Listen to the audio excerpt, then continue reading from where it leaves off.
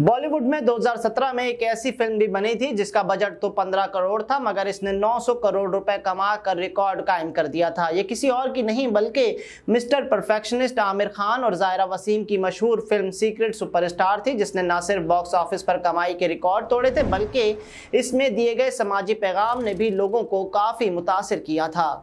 दो हज़ार सत्रह में रिलीज़ होने वाली फ़िल्म सीक्रेट सुपरस्टार ने धूम मचा दी थी। फ़िल्म में घरेलू तशद और मजालिम पर भी तवज्जा मरकूज महसूस की गई है, जो एक औरत एक बदसलूकी करने वाले मर्द से शादी करने पर सहती है। अगरचा ये फ़िल्म बुनियादी तौर पर एक नौ उम्र लड़की के बारे में थी, जो गुलकार बनने की ख्वाहिश रखती है। फ़िल्म में हकूक नस्वा, मसावत और घरेलू तशद के मसाइल को खूबसूरती से अक्सपन किया गया था।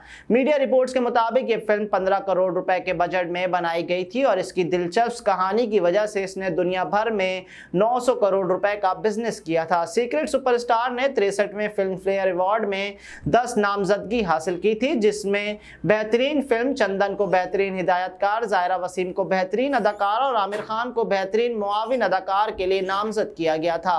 फ़िल्म ने तीन अवार्ड अपने नाम किए, जिनमें जायरा वसीम बेहतरीन अदाकारा और विच के लिए बेहतरीन मुआविन अदाकारा का अवार्ड भी शामिल था।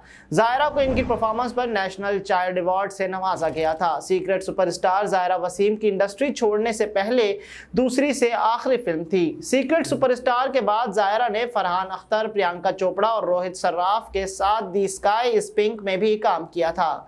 2019 में जायरा ने फ़िल्म इंडस्ट्री से किनारा कशी का ऐलान करते हुए कहा था कि बॉलीवुड में इनके ईमान को खतरा है। अदाकारा का कहना था कि इंडस्ट्री इनके मजहबी अकायद को मुतासर कर रही है और अब वो अपने काम से खुश नहीं है।